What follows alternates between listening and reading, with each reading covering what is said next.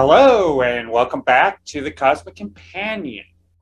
On Saturday, the 11th of December, an asteroid named 4660 Nereus will pass the orbit of Earth, making a close ish approach with our home planet. During this approach, 4660 Nereus will come within 3.9 million kilometers or 2.4 million miles of the Earth. That's roughly 10 times the distance between the Earth and the Moon. Now, this may seem like quite a long distance, but it's still fairly close when we're talking about astronomy named after a Greek sea god who is the son of Gaia.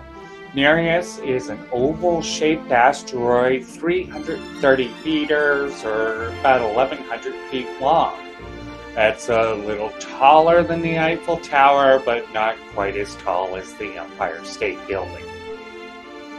When this body makes its closest approach to Earth, it will be traveling at 23,700 kilometers per hour, or about 14,700 miles per hour.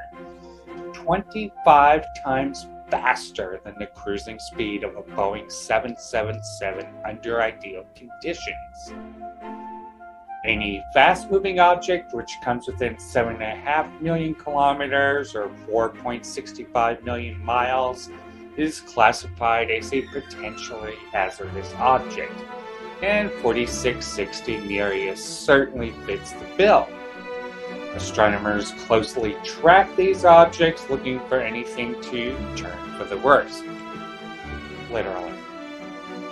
There is no foreseeable threat from 4660 Nereus, but this body, like all asteroids, presents a chance to study the ancient solar system and learn more about rocky planets like our own.